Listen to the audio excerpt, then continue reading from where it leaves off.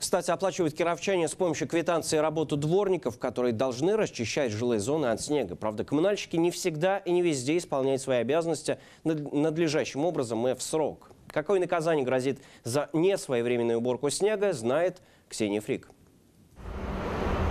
Оградить снежную свалку ленточкой еще не значит соблюсти требования благоустройства территории. Весь снег управляющие компании должны сразу вывозить на полигон. Складирование во дворах запрещено. Здесь, в микрорайоне Чистые пруды, требования регулярно нарушают. По таким снежным горкам даже дети уже катаются.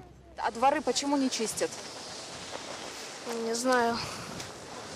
Может, времени мало? Скорее всего.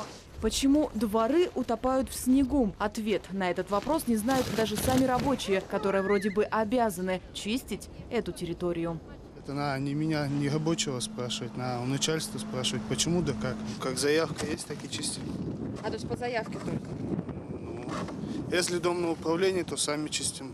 Если так, то по заявкам. Работу управляющих компаний регулярно контролируют в администрации города. И регулярно они выявляют нарушения. После последней проверки на управляющую компанию «Интехсервис» были составлены несколько протоколов об административном правонарушении. Теперь за эти нечищенные дворы им грозит штраф до 200 тысяч рублей.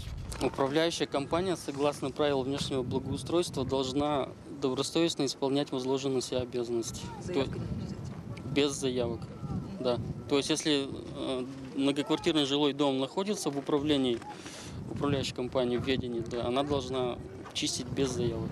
Без заявок и своевременно. После многочисленных предписаний от администрации города здесь начали уборку снега. Но понести наказание за нечищенные дворы управляющей компании все-таки придется.